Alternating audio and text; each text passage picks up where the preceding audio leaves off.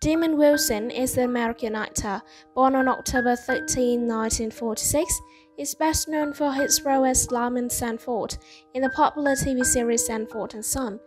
After the series ended, Demond Wilson continued to appear in many other television series, but never achieved the great success as Lamont Sanford.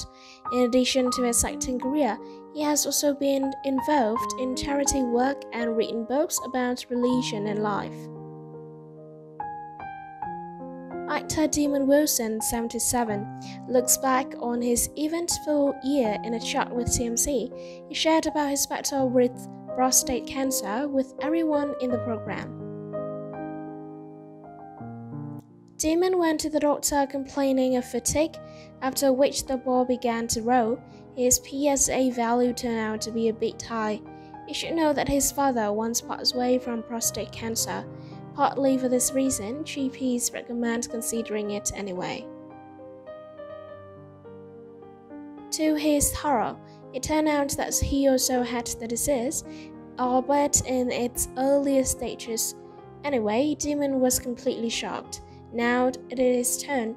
Now it is wrong. Demond asked doctors, This is your own death sentence.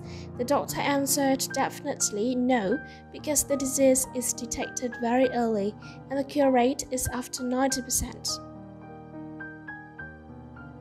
Demond is now doing well again and he could be involved in some movie projects that have been planned for a long time.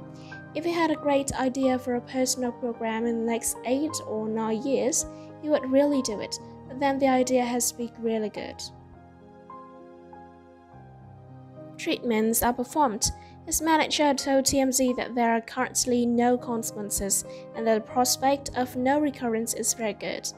Demond was flooded with support from fans after he announced his prostate cancer.